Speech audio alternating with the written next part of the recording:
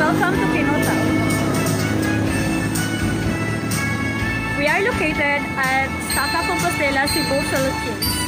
And the name of my store is Kinotao.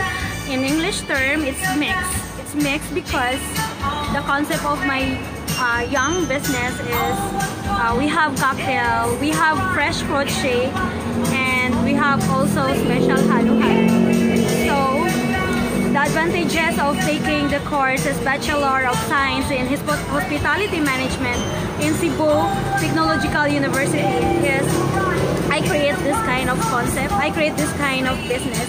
Though it's so young for me, but at least I started this small business and I build this because of my motivation. I build this because I have a dream.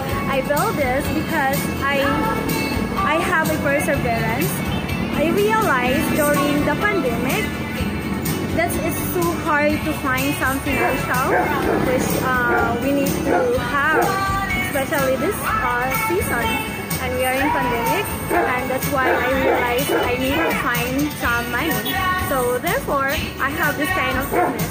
And I started this and I know it's too risky. And I feel that uh, uh, my business is about uh, more than lot of emotions.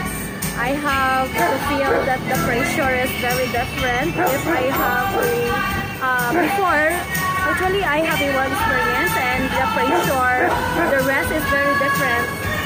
And now, even though it's very risky, I build again another characteristic um, like perseverance and the patience is very long I'm very happy because I, I know it's us it's a very common idea that we need to have a perseverance. But if you have a business, the concept of uh, perseverance, um, the level of patience is very different.